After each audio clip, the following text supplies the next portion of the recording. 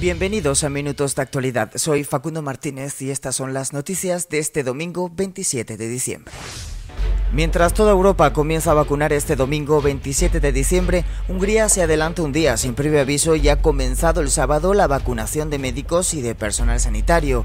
Las vacunas de la alemana BioNTech y de la estadounidense Pfizer se encuentran en lugares secretos bajo vigilancia, listas para que comience su administración en geriátricos, personal sanitario y después al resto de la población.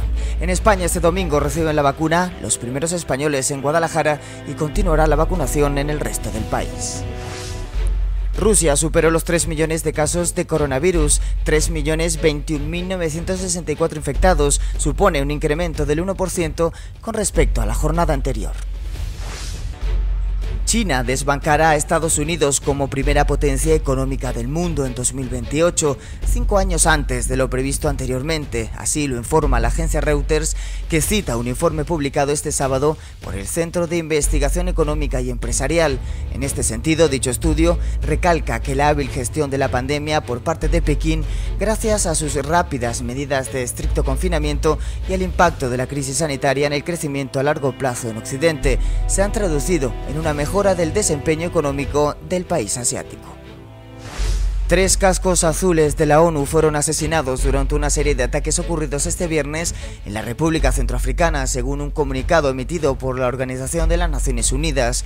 Las acciones llevadas a cabo por hombres armados no identificados tienen lugar en un momento en el que la violencia se ha intensificado en varias partes de la nación, en vísperas de las elecciones presidenciales y parlamentarias de este domingo. Descubren en Pompeya un restaurante de comida rápida para llevar con restos de alimentos de la época. La decoración, que se ha mantenido prácticamente intacta bajo las cenizas, confirman su excepcionalidad.